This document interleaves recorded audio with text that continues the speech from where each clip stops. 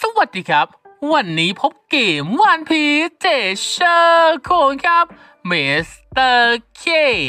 ก็วันนี้ครับข่าวสารของกาชา อีเวนต์ใหญ่ประจำสิ้นเดือนครับ อีเวนต์ของ Kizuna Clash ครับ ได้มาเลยครับ ซึ่งเมื่อวานนี้ผมได้แปล skill ของตัวละครใหม่ไปครบแล้วเนาะสามารถไปกันได้ในคลิปเมื่อวานนะครับ ซึ่งถึงจะแปล skill แล้วก็ตาม แต่วันนี้ก็ยังมีเซอร์ไพรส์นะ เซอร์ไพรส์ก็คือกาชาของตัวใหม่เนี่ย มันไม่ใช่กาชาฉลอง เออ อันนี้แปลกใจ แปลกใจ มันคือกาชาอีเวนต์นะครับ แต่ไม่ใช่กาชาฉลอง คือผมคาดว่ามันจะมีฉลองมาต้นเดือนกลางเดือนสิ้นเดือนสุดท้าย ไม่ใช่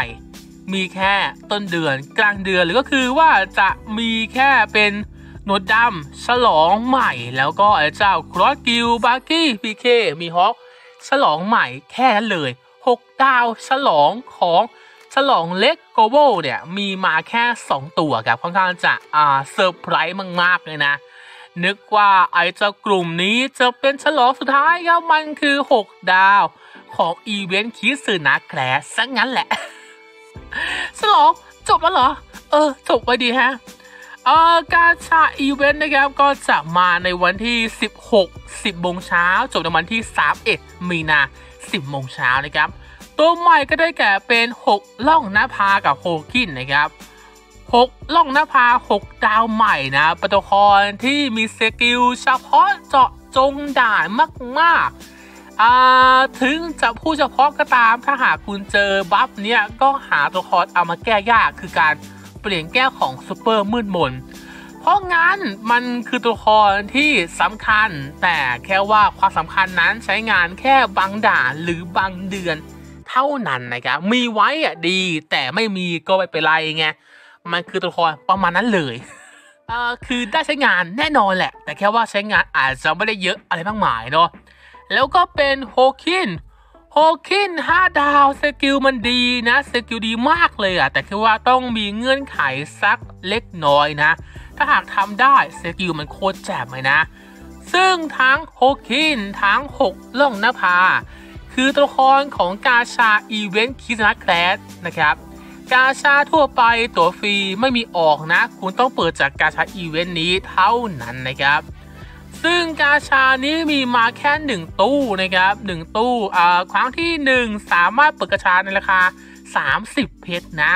ก็ถูกดีมากเลย ครั้งที่ 5 8 13 18 21 ใบแดง 1 ใบแน่นอน ครั้งที่ 7 11 16 23 ได้ตัวละครของ event Kizuna Clash แน่นอน 1 ตัวนะครับ และครั้งที่ 25 ได้เป็น 6 ล่องนภาแน่นอน 1 ตัวนะ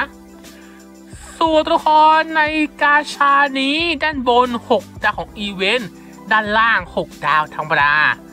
ด้านบนอีเวนต์ก็จะมีเป็น 6 ล่องนภามีเป็นมิงโก้คู่พีเคคู่นี้ไม่ค่อยได้เห็นได้ใช้งานเลยนะ ตั้งแต่จบอีเวนต์ไปอะอ่าช่วงที่เขามาอีเวนต์เนี่ย คือมันอวยไง ใช้งานโคตรเยอะเลย หลังจากนั้นไม่ค่อยมีใครหยิบมาเล่นเลยนะครับ แล้วก็จะมีเป็นไคโดกลุ่มไคโดกลุ่มเนี่ยอ่าสภาพหนักกว่าไอ้เจ้ามิงโก้พีเคอีก คือมิงโก้พีเคอย่างน้อยมันก็ได้อวยด่านอยู่ 1 เดือน 1 เดือนนั้นน่ะใช้งานโคตรเต็มที่เลย แต่ไอ้เจ้าไคโดกลุ่มเนี่ยตั้งแต่มานะครับ ยังไม่มีด่านไหนที่อวยไคโดกลุ่มเลยสักด่าน สักด่านนะครับ ครั้งแรก ที่มันมา มันก็ไม่ใช่ตัวละครอวยหรือตัวละครคูณของอีเวนต์เลย เลยมีคำถามว่าไคโดกลุ่มเนี่ยมีมาทำไมเป็นตัวละครที่ไม่มีอีเวนต์อวย ไม่มีการคูณแต้ม แล้วก็การใช้งานเนี่ยอ่าไม่มีเลยก็ว่าได้นะครับ กาชานี้เลยรู้สึก โดยรวมนะ มันดูไม่น่าเปิดอะ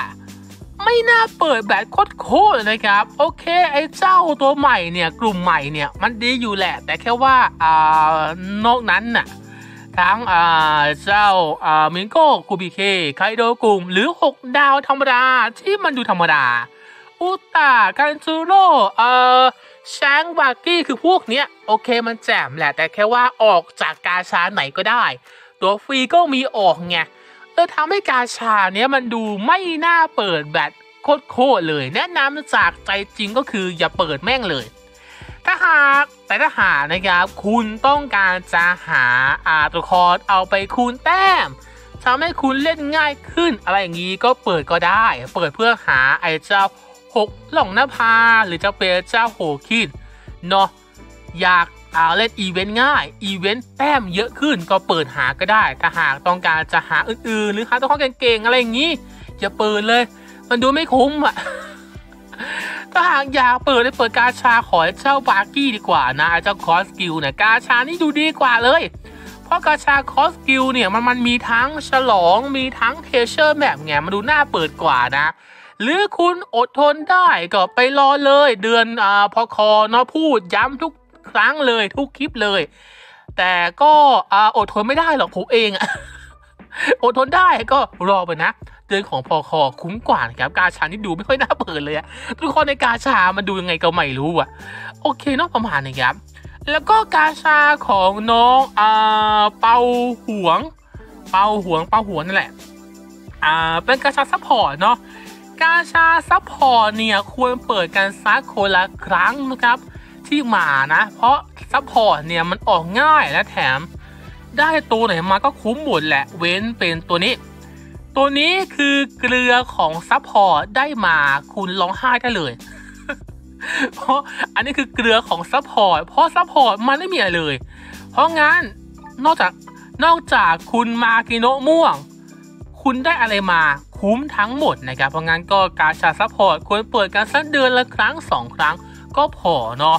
ซึ่งรอบนี้เป็นของน้องเปาห่วงนะครับ ผมเอาตรงๆนะ คือออกเสียงไม่ถูก เห็นคนพิมพ์เม้นบอกแล้วแหละแต่ผมก็ยังออกเสียงไม่ถูกอยู่ดีเปาห่วง โอเคนั่นแหละประมาณนี้ครับกาชา support เนาะอืม ดีๆเยอะนะ ก็ เรียกว่าดีทั้งหมดเลยก็ว่าได้นะครับ เว้นไอ้เจ้าคุณมากิโนนะ ได้มาเตรียมตัวร้องไห้ได้เลยนะครับ เข้ามาขายของกันสักครู่นะครับ ก็วันนี้ครับผมจะมาแนะนำครับร้านขาย ID ดองเพชรเนาะร้านของ Zombie Lust นะครับ ก็เป็นร้านขาย ID ดองเพชรที่ราคาไม่แพงครับแถมมีหลายเกมมากๆครับสินค้าเยอะมากๆเลยนะ ก็มีทั้งเกมของ One Piece Bounty Last นะครับ One Piece Treasure Cruise ก็มีนะ Beat Brave Soul นะครับอ่า Dragon Ball Legend แล้วก็มีเกม Black Clover นะครับ ส่วนไอ้เจ้าเกมของอา One Piece Treasure Cruise เนี่ยอยู่ด้านล่างครับต้องกดอาคำว่าดูทั้งหมดนะ นี่ครับ One Piece Treasure Cruise ครับก็มีขายเช่นเดียวกันนะครับ ซึ่งก็จะมี ID แบบว่าอ่าวัดดวงราคา 10 บาทด้วยนะครับ คือคุณแค่อาจ่าย 10 บาท แล้วก็วัดดวง สุ่ม ID ก็มีด้วยเหมือนกันนะเผื่อคุณดวงดีนะครับเห็นไหมสิบบาทมีสิทธิ์นะ แต่ก็มีเกลือเหมือนกันนะครับแต่คุณคิดว่าคุณดวงดี ลองดูก็ได้ 10 บาท อาจจะได้ ID ดองเพชรเยอะๆมานะครับราคาก็มีทั้ง 300อ่า700 ก็มีเหมือนกันเนาะก็แล้วแต่ว่าคุณจะเลือกครับก็มีขายหลายเกมนะ ร้านของ Zombie Lust นะครับลิงก์ของร้านอยู่ใต้คลิป หรือ search หาใน Google ขึ้นด้วยเหมือนกันนะครับ Zombie Lust ครับ ต่อไปนะครับคืออีเวนต์ของ Kizuna Clash นะครับของสิ้นเดือนนี้อีเวนต์ใหญ่ประจำสิ้นเดือน ซึ่งแนะนำว่าช่วงเนี้ยหากิลกันอยู่นะครับ มันต้องมีกิลนะ ตีคนเดียวไม่ไหวนะครับ หากิลกันอยู่นะ แล้วก็รอบนี้มี super boss เนาะเพราะงั้นตีคนเดียวไม่ไหวแน่ๆครับ ต้องมีกิลอยู่นะครับอีเวนต์รอบนี้มาในวันที่ 20 นะครับ 10โมงเช้าจบวันที่ 24 3 ทุ่มนะครับมา 20 จบ 24 อยู่แค่ 4 วันนะก็เดือนนะครับก็จะมีการแจกเป็นเจ้า X นะครับ 5 ดาวแล้วก็ X 5 ดาวบวกนะครับสวยงามนะภาพแนวตั้งเลยนะเออสกิลของ X ดีไม่เอ่ย มีการลด cooldown ของ skill สาย ลูกศรดาบ 1 turn ทำ damage 60 เท่าใส่ 1 ตัว เปลี่ยนแก้วของสายลูกศรดาบ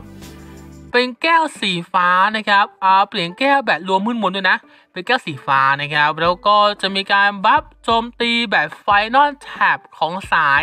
ลูกศรดาบแรงขึ้น 15%นะครับ final tap นะ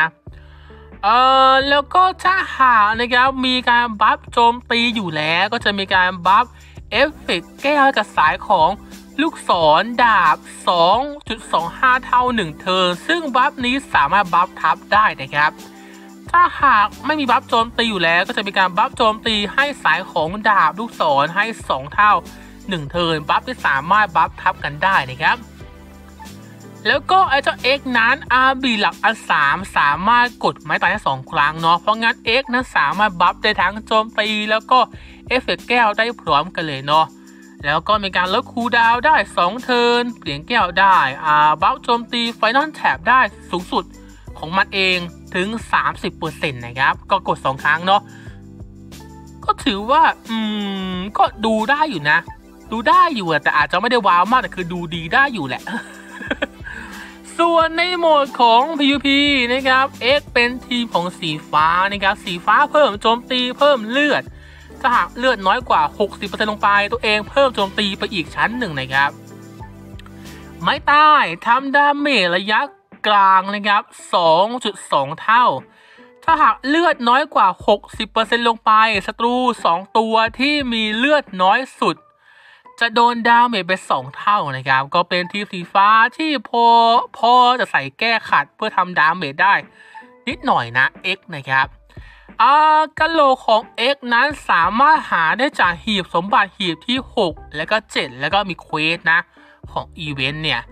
แล้วก็จะมีการแจกกะโหลกของเจ้าอารองกลุ่ม 6 ดาวบวกนะครับ ในหีบที่ 4 ถึง 6 นะครับ แล้วก็เดือนนี้นั้นก็จะมีเอาอากะโหลกของแชงม่วง 6 ดาวบวกเอากลับมาขายนะแชงม่วง 6 ดาวบวกนะครับ ส่วนตัวละครนะครับที่คูณแต้มก็มีแค่ 2 ตัวได้แก่เป็นเจ้าหกลงนภาและก็โฮคินแค่ 2 ตัวนะอ่าแล้วก็จะมีการทำให้ตัวเองตีเป็นสีรุ้งตัวนะครับ แค่ 2 ตัวนะ นอกนั้นคือไม่ได้คูณแต้มแต่มีแค่การเพิ่มค่าพลังตัวเองไม่ตายไวขึ้นของตัวเองนะครับอ่าก็จะมีการเพิ่มค่าพลัง 2 เท่าก็พวกอ่าเป็นหนวดดำ เบอร์เช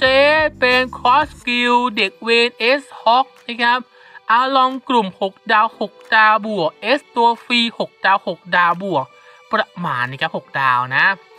คูณแต้ม เอ้ยไม่ใช่ดิเพิ่มค่าพลัง 1.5 เท่าก็มีประมาณนะครับ โอเคเนอะก็เป็นอีเวนต์ของ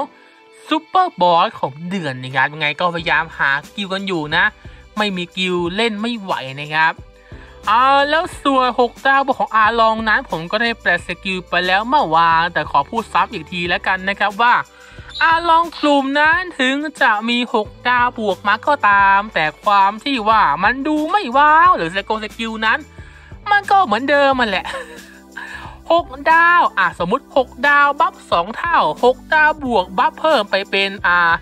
2.5 เท่า คือมันก็ buff แรงขึ้น แต่โดยรวมนั้นก็ถือว่า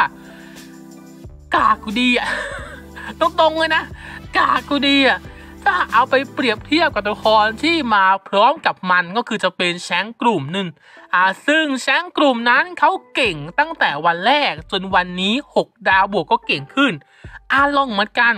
กากวันแรกจนวันนี้ก็กากเหมือนเดิมนั่นแหละ ประมาณนี้ครับ โอเคนอกกาชาอีเวนต์ใหม่เน้นย้ำครับกาชาใหม่เนี่ยเปิดได้แต่หากแนะนำจากใจจริงอย่าเปิดเลย กดไลค์กดแชร์กดตามเพื่อเปิดใช้ผมเลยครับถึงมาสวัสดีครับ